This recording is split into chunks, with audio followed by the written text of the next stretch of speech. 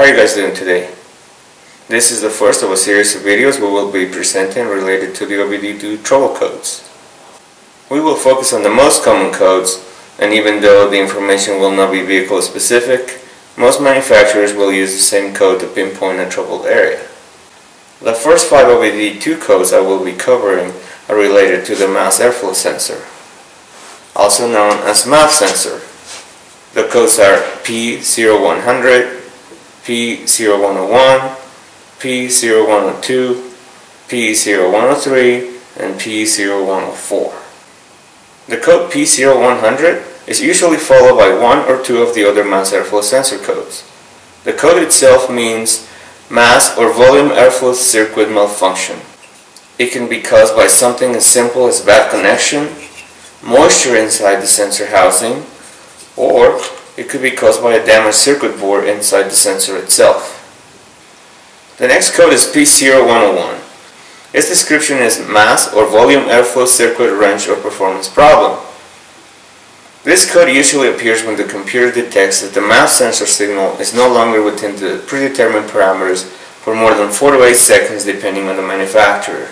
The most accurate way to test the sensor when this code appears is with the use of a scan tool with graphic capabilities. A healthy sensor will show a steady flow of peak and valleys on the screen, and a defective sensor will have intervals of interrupted signal. At the end of the video, I will show you how it looks when we capture live data with the use of a scan tool on a vehicle with the engine running. A dirty mass airflow sensor could also trigger this trouble code. By not allowing the computer to read the correct amount of air that passes through the air intake hose. You can purchase mass airflow sensor cleaner and you can clean the sensing elements inside the sensor. It's very inexpensive and it could save you the cost of buying a brand new sensor. Also, once you're done cleaning it and you install it back on, make sure that the hoses are tight so you don't have any vacuum leaks that could also contribute to develop this type of code. The next code is P0102. Its description is mass or volume airflow circuit low input. This code could also be caused by a dirty sensor. Or if you have an aftermarket air intake system that requires the air filter to be coated with oil, there's a possibility that as the air passes through the sensor, it may have carried enough oil to contaminate the sensing element. So cleaning it could fix that code. A broken wire, bad connection, or of course a defective sensor could also trigger this code. The next code is P0103. Its description is mass or volume airflow circuit high input. This code usually appears when the computer detects higher readings than the specified parameters, which in most cases is caused by a bad sensor. However, to be absolutely sure, you need to read the data that the sensor is sending to the computer with the use of a scan tool. It can either be read on grams per second or pounds per minute, and that information can be compared with the correct values to find out if you have a defective sensor. The last code related to the mass airflow sensor is P0104. Its description is mass or volume airflow circuit intermittent. There could be times when the solder connections inside the sensors come loose due to vibration that could trigger this type of code. Bad connection from the harness to the sensor could also trigger this code.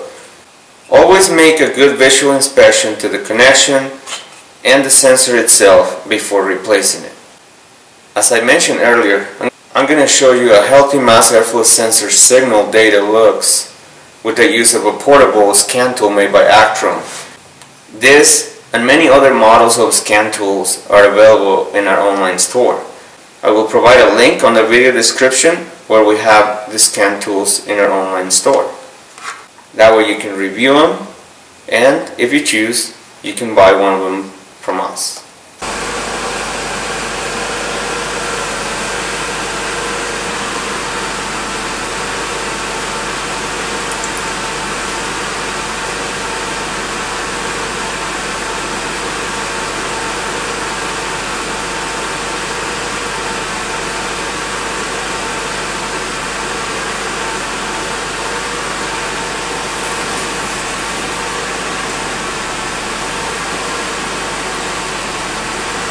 As I mentioned earlier, a healthy sensor will display peaks and valleys on a steady flow.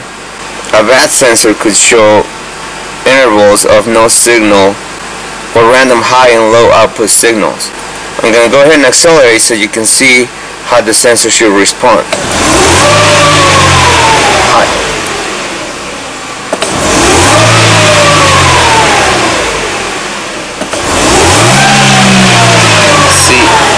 Went all the way up to 120 grams per second. Depending on how much you accelerate,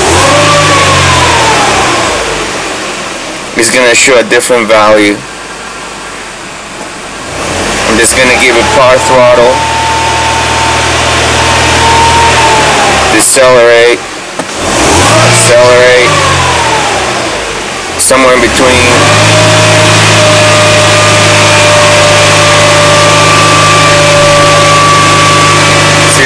doing 3,000 RPMs. Let off. You can see the value come down.